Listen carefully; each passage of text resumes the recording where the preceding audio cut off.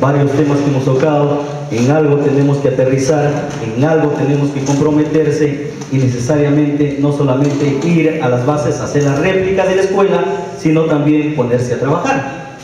¿no? Porque qué bonito venir a Lima, pasearse, quizás venir eh, haciendo modos posibles, en buen carro y mal carro, pero al fin y al cabo estar acá, escuchar muy bien, interiorizarlo, pero el tema es ir a desarrollarlo a la base, ¿no? La práctica es el mejor resultado para nosotros. Orientaciones para el proceso de relanzamiento del MAS. Siguiente. ¿Qué entendemos por relanzamiento? ¿O por qué decimos ahora relanzamiento? Ayer, hoy día, se ha hablado del fracaso que hemos tenido en el proceso de construcción del MAS. Del fracaso de no haber organizado el MAS.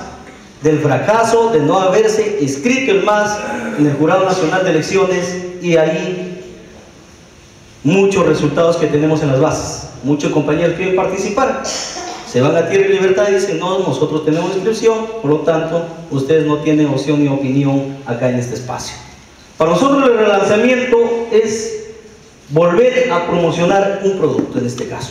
Si ponemos desde el punto de vista marketing empresarial o marketing no en algún producto, pero en este caso es volver a promocionar al más y ver los mecanismos más posibles, cómo hacemos que el más nuevamente cale en la gente. Porque hay un espacio todavía abierto. Ver la manera como el más nuevamente llegamos a la gente, cómo lo organizamos, cómo lo incorporamos, cómo hacemos que el más crezca, avance, se fortalezca en el proceso. ¿No? Siguiente. Porque en muchos lugares dicen, en un inicio nos reuníamos bastantes, había toda una emoción, ¿no?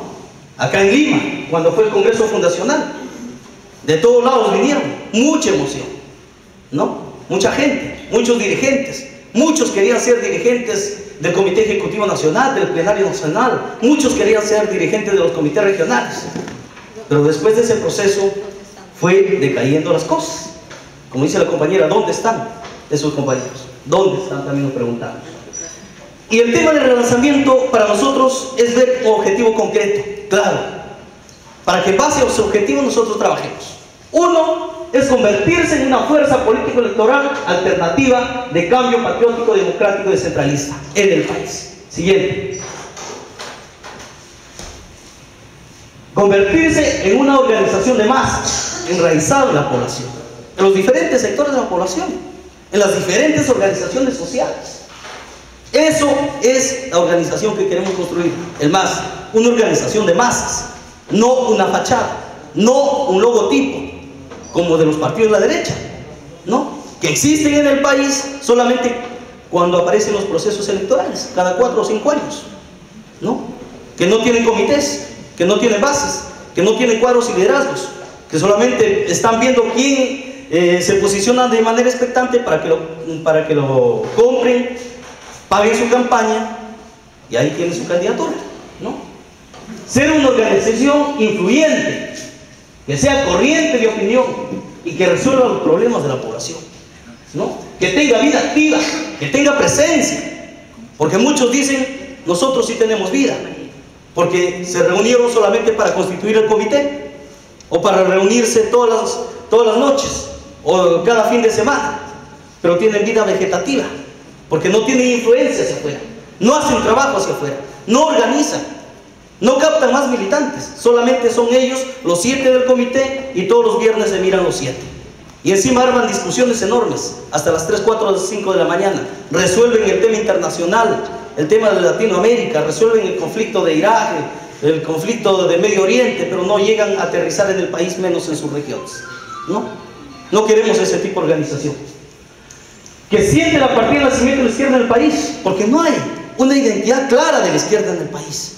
Y el MAS quiere ser esa identidad clara de la izquierda en el país. Eso queremos ser el MAS. Y que trabaje necesariamente por la unidad.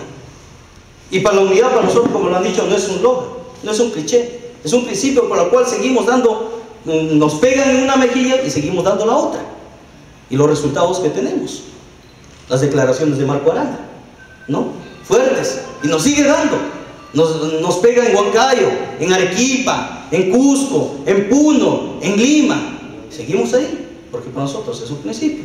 Y a veces terminamos, ¿cómo?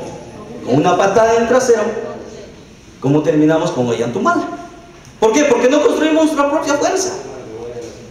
Porque tan solo construyendo nuestra fuerza, nuestro propio movimiento, también podemos forzar la unidad. ¿No? Trabajar por la unidad. Tan solo así, haciéndote fuerte, también fuerzas la unidad. Porque caso contrario, te relega a un segundo plano.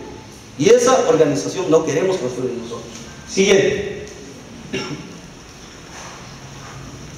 Y para ello, necesariamente hay que preparar las condiciones. Y acá hay una figura muy clarita de Mafalda. He decidido enfrentar la realidad así, así que apenas se ponga linda me avisa. ¿Qué dices? Que está esperando. Y acá, sentado. Y así pasó en el proceso del MAS. Hay que analizarlo. Que los compañeros del norte sigan recabando firmas, sigan organizando. Que los compañeros de esta región cumplan con su cuota. Mientras yo no, no saco firmas de ahí, que hay regiones que no tienen ninguna firma. Hay regiones que tienen 200 firmas, 20, 40 firmas. Cero firmas. No, que los compañeros de Cajamarca lo resuelvan, que los compañeros de Lambayeque, de Piura, de Trujillo lo resuelvan, los compañeros de Lima. Y el resto no hacemos trabajo. Incluso llegaron a pensar, como Tierra y Libertad ya nos dio la inscripción, ¿para qué inscribir al MAS? Eso manifestaron muchos. ¿No? Siguiente. O ahora mismo, ¿no? Que se organicen en otros lugares, nosotros hay que esperar a la corriente. ¿No? Hay que esperar a la corriente. ¿Qué dice? ¿Quieres algo? Entonces haz que suceda. Porque lo único que cae del cielo es la lluvia. Están esperando. Hay que hacer las cosas. Hay que comprometerse. Hay que hacerlo. Si no lo hacemos nosotros, ¿quién lo va a hacer? ¿Los de la derecha van a venir a trabajar por nosotros? Los de Tierra y Libertad van a trabajar por el MAS. Los del PS, del PS Unidad. Nosotros hay que hacer las cosas. Con nuestra fuerza, con nuestra gente, con nuestra militancia, con nuestro activismo. Nosotros hay que hacerlo. Para también poder saber valorar ese esfuerzo. Para defenderlo a la organización, al programa. ¿No? Siguiente. Y para ello son importantes algunas herramientas, que lo han dicho hasta el cansancio. La organización. Fundamental, la organización. Debemos seguir organizando el más. ¿Por qué? Porque la organización nos da militantes, nos da activistas, nos da simpatizantes, nos da propagandistas, agitadores, nos permite construir bases, tener una estructura sólida, de abajo hacia arriba, de arriba hacia abajo, nos da orden y nos da disciplina. Eso nos da la organización. Nosotros queremos constituir un partido político electoral fuerte, organizado, con bases a lo largo y ancho del país. No queremos un partido como Ollantumala, que fue una emoción, y que ahora gira en torno a Ollantumala y su esposa. ¿No? ¿Por qué? Porque no quisieron tener una militancia que opine, no quisieron tener una militancia que sea crítica, que sea propositiva. Nosotros no. No queremos tener militontos, queremos tener militantes que critiquen, que propongan, pero también que investiguen, que investiguen. ¿No? Ese tipo de militancia queremos tener. Y necesariamente, para asumir algunas tareas, para el trabajo y para las responsabilidades. ¿Por qué? Porque se puede cargar las responsabilidades en una persona y muchas veces se sobrecarga en la, cabeza. Se sobrecarga en la cabeza. Hemos visto en algunas regiones que solamente lo dejan al presidente del comité. Que solamente lo dejan a una persona o dos personas porque saben que cumple sus responsabilidades. Pero no le encargan a otros y por lo tanto se desentienden. Hay que saber, hay, hay que saber distribuir las responsabilidades, distribuir el trabajo para que cada quien cumpla su papel, cumpla sus funciones. Y hay que saber incorporar a otra gente al trabajo en equipo, pero también asumiendo responsabilidades personales, cada quien. La siguiente, por favor. Programa. Y el programa, ayer lo han escuchado hasta el cansancio. Muchas cosas. Y no solamente el programa nacional, Que tenemos ahí nueva república, nueva constitución, defensa del medio ambiente, la lucha contra la corrupción, o el nuevo modelo, el proyecto nacional, o el tema de la educación gratuita, el tema de la salud, y tantas cosas más. Es el tema nacional. Pero también cómo aterrizamos en las regiones. Previo al diagnóstico. Cómo tenemos un proyecto de desarrollo regional. El proyecto de desarrollo local. Y debemos tenerlo. En todas las regiones, en todas las provincias, en todos los distritos, hasta en las comunidades. Porque si no tenemos una propuesta clara para el distrito, para la provincia, para la región, solamente planteamos cuestiones generales del tema de país, pero ¿cómo englobamos todo eso? ¿Verdad? Desde los distritos, la provincia, la región y para el tema nacional. El siguiente. Cuadros y liderazgos. Muchas veces se dice, en la izquierda no hay cuadros, no hay liderazgos. ¿Y qué son ustedes? ¿Qué somos nosotros? ¿O no tenemos confianza en nosotros mismos? Podemos asumir ese papel. Cada quien tiene esas cualidades. Hay que sacar a reducir esas cualidades de cuadros liderazgos en las diferentes instancias, en los diferentes órganos o la estructura del MAS. ¿Para qué? Para el proceso de conducción de los comités distritales, provinciales, regionales, para los procesos de representación en los procesos electorales de los candidatos. Porque si no estamos buscando quién quiera ser candidato, quién quiera acompañarme en la lista. Y el tema es que ustedes también se decían, ¿no?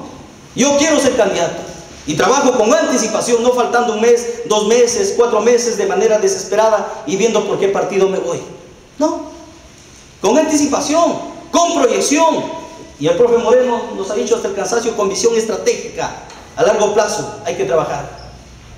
Porque a veces eh, removemos el gallinero cuando faltan 3, 4, 5 meses para los procesos electorales, cuando ya es demasiado tarde.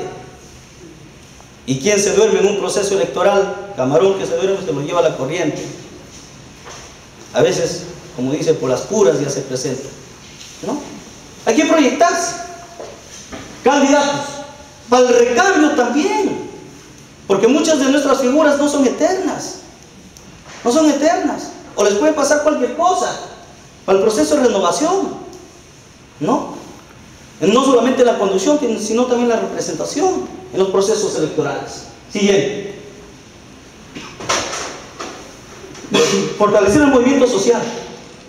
Porque lo que nosotros queremos no solamente es llegar al gobierno, queremos el poder. Porque si queremos hacer cambios en el país, necesariamente tenemos que tener el respaldo de la población. Y eso significa ser poder. ¿No? Tener presencia en las masas, en los sectores sociales organizados. ¿No? ¿Y eso qué significa? Que tenemos una enorme responsabilidad de no solamente por trabajar por su fortalecimiento, sino también por su unidad del movimiento social. Nosotros somos responsables de muchas organizaciones sociales. ¿No? De muchas organizaciones sociales. Por ejemplo, si mañana queremos cambiar la constitución, no solamente queremos tener parlamentarios, sino también un pueblo organizado, movilizado abajo, que exija cambios en la constitución. Si mañana queremos cambiar las leyes de la educación, queremos aumentar el sueldo de los maestros, ¿a quiénes queremos tener de nuestro lado? A los maestros, organizados, unificados, movilizados, con enorme capacidad de respuesta, de movilización, pero también de propuesta, que lo hagamos suya y lo podamos llevar al gobierno para cambiar esas cosas. Eso es lo que queremos. Siguiente, por favor. Ahí hay una foto donde está el profesor Moreno, compañero Gregorio, en un congreso de las rondas campesinas. Porque las rondas es un término de poder. En Cajamarca nos ha ayudado bastante en este proceso. No solamente en la lucha, no, sino también que elevado su nivel político.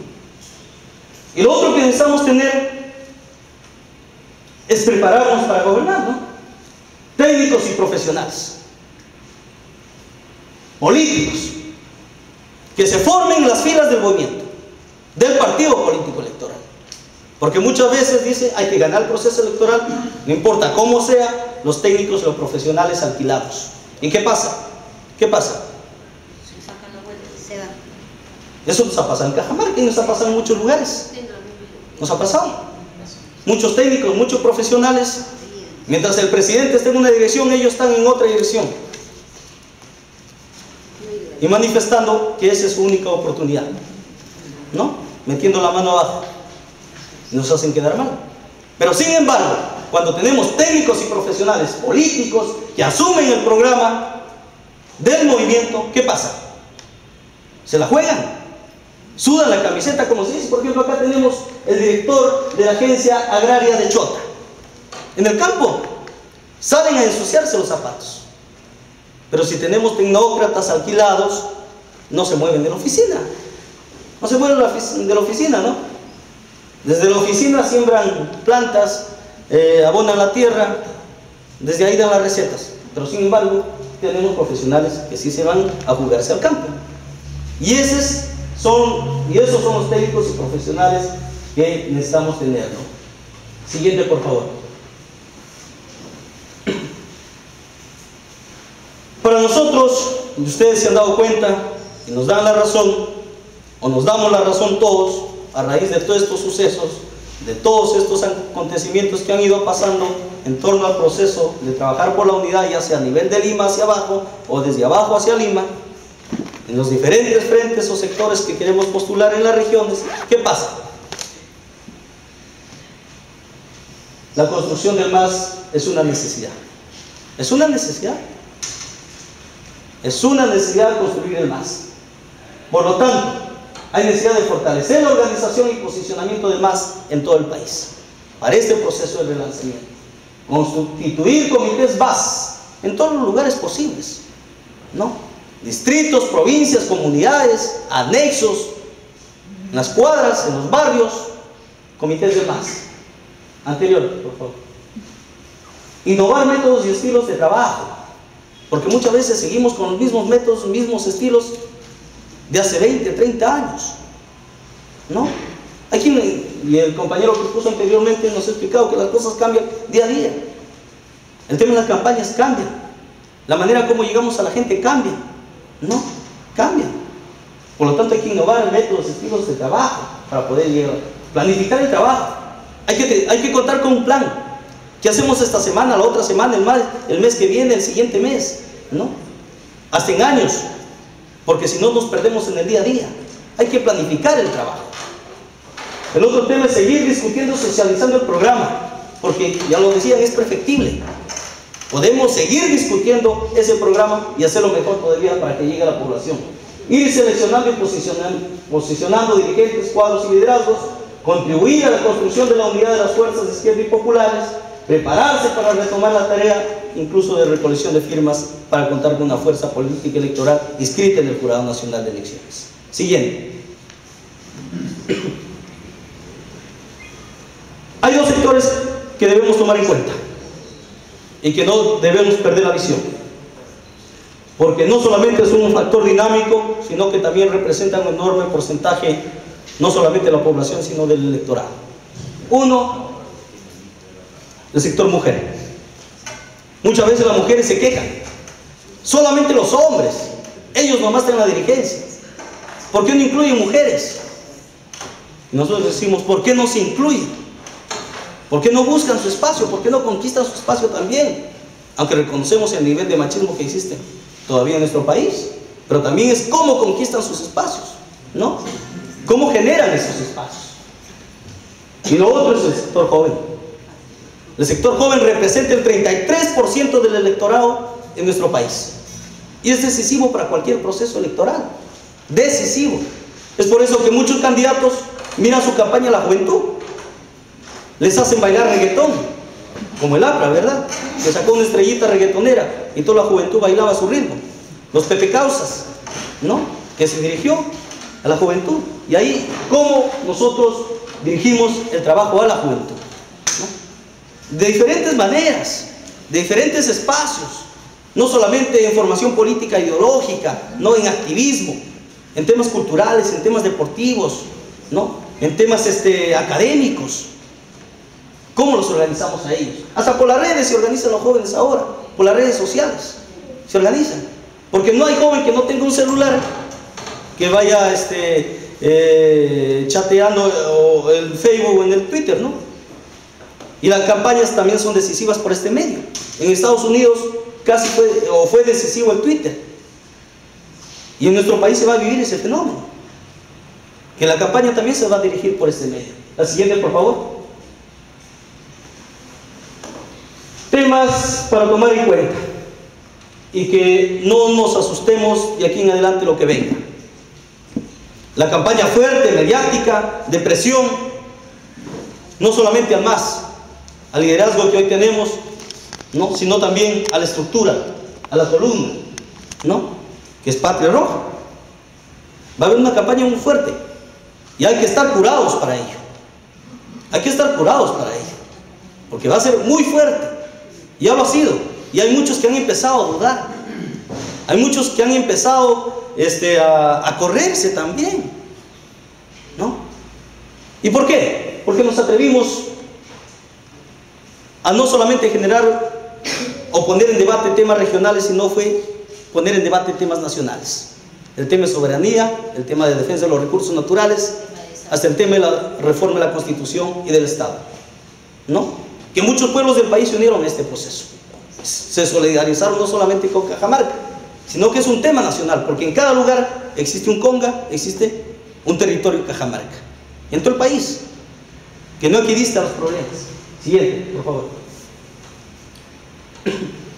Nos atrevimos a esclarecer cuál era el derrotero de Ollantumal, que ni siquiera ya era la hoja de ruta, sino que se encontró con una laguna o con varias lagunas y que de ahí él mismo dijo, estoy del lado de la CONFIEP, de la derecha y de los poderes internacionales. ¿Verdad? Ayuda a desenmascarar eso. Siguiente, por favor. Muchos quisieron doblegar al más, al liderazgo, pero no pudieron. Quisieron engatusarnos con el diálogo, con la negociación, pero hay que entender que la derecha nunca dialoga. Ellos imponen, y la imponen de la peor manera porque le hicieron con muertes y todo. ¿Verdad? Siguiente, por favor. También nos atrevimos a decir al gobierno que cuando no cumple su palabra, se lo puede bajar. Y eso no nos van a perdonar. Y por eso ningún halago vamos a esperar de la derecha. Ningún halago vamos a esperar del grupo del comercio que controla el 70% de los medios de comunicación en el país. No vamos a esperar halagos. Siguiente, por favor. ¿Qué hicieron? Desde adentro quisieron corroer lo que habíamos conquistado, comprando consejeros del propio movimiento. Fueron las empresas mineras para ponerse en contra y hacer que el proyecto minero Conga vaya. Siguiente, por favor. Y la campaña es muy fuerte, pero está dirigida. Esta es la página real de una revista que han sacado miles de revistas en Cajamarca, ¿no? Algunas se las regalan porque son financiadas por Yanacocha. Está clara, arriba dice confundida, pero sin embargo abajo sacan la propaganda de Fujimori. Siguiente, por favor. ¿Y por qué? También nos atacan. Han querido decir que somos incapaces, que la izquierda no puede gobernar, que el MAS no tiene capacidad para gobernar. Pero sin embargo les hemos demostrado. Miren las cifras. El periodo 2003 al 2006, que fue el gobierno aprista, ¿cuánto llegó su inversión? A mucho, al 62%. El periodo 2007-2010, que fue Jesús Coronel, ¿a cómo llegó? Al 53%. Nosotros hemos llegado al 80% en utilizar el presupuesto de la región. ¿Y por qué? Porque más bien falta recursos para invertir en Cajamarca. Lo que antes tenía 367 millones, ahora tiene 75 millones. Y no puede decir que no hay capacidad de generar proyectos porque tenemos un banco de proyectos por 1.500 millones y sin embargo el presupuesto que tenemos son 75 millones. ¿Por qué? Porque todo se ha reconcentrado. Más allá del ataque al presidente de Ancash, el de, el de Tumbes, que es el de Cajamarca necesariamente el objetivo, porque es un peligro mayor nacional, es traerse abajo el proceso de regionalización y descentralización y volver nuevamente la concentración al gobierno central, porque ya lo ha hecho. En el año 2010 el gobierno central tenía 600 millones en Cajamarca, pero ahora tiene 1.005 millones. 1.005 millones. Y sin embargo al gobierno regional le resta de 306 millones a 75 millones. Siguiente, por favor. Es por eso que todos están contra nosotros. De siete candidatos, ocho están a favor de Conga. ¿No? No, de, ocho, siete están a favor de Conga. O sea, hay un tema que muy fuerte y la pelea va a ser fuerte. Y nosotros nos hemos trazado a ganar las elecciones en primera vuelta, con el 50% del electorado. Estamos trabajando para eso. Todos apuntan a nosotros, como ping-pong. Todos, ¿no? Todos apuntan. Siguiente, por favor.